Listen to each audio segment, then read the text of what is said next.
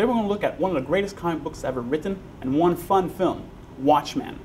We're going to take a look at Rorschach's mask and the ink blots that are moving all around his face.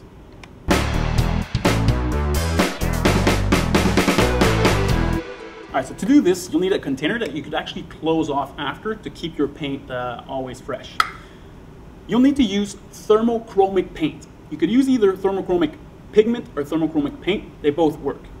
The principle of this will be explained later. But basically what you need to do is mix this with some uh, acrylic paint medium. The ratio that you use is about half-half to start, and then you see if you want it to be a bit more liquidy, you add more uh, medium. If you want it to be thicker, you add more paint. So here's the thermochromic paint. You put it in.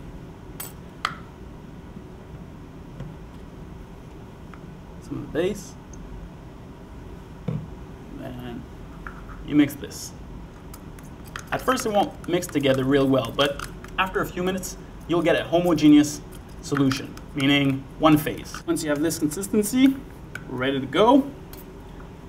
Take a mask, take some paint brushes, go all around face.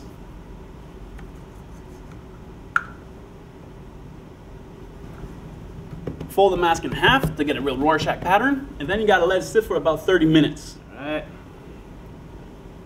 Here you go. You got the mask. Let's try it on.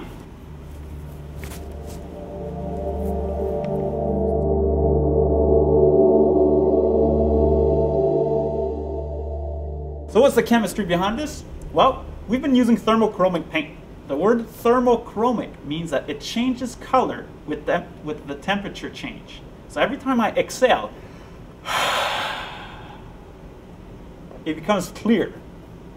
Every time I inhale, it becomes dark. Why? Because every time I exhale, it's very hot, and therefore it changes color.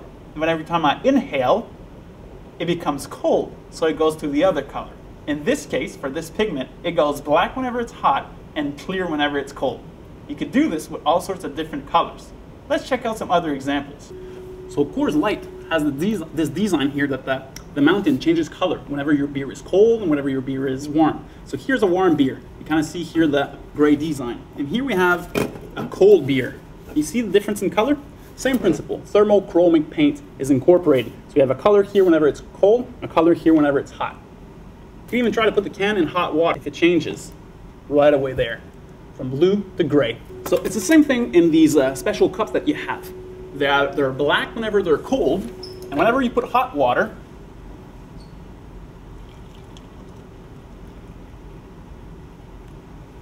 the black color goes transparent. and then eventually you will see the image that is under.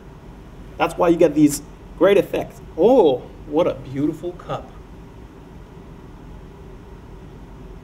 Is that the comic book chemist?